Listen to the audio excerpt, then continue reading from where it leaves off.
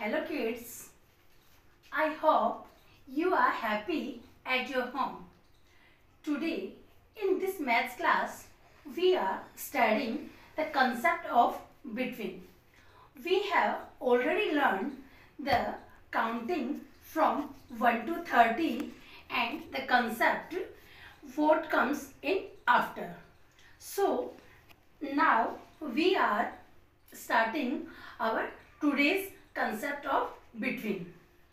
First of all, I will tell you the Hindi meaning of between.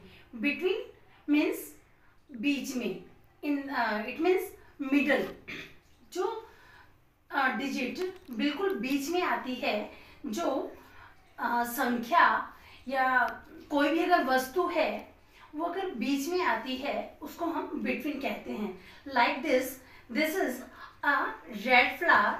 This is pink flower and this is yellow flower. So, uh, red, first number is red, second number is pink and third number is yellow. So, tell me which one is in the between, which one in the middle. So, the pink in the flower of pink. Pink flower is in the middle and so we will call it in the between. So now we have or learned the meaning of between. After that we will do the worksheet and do practice at your home.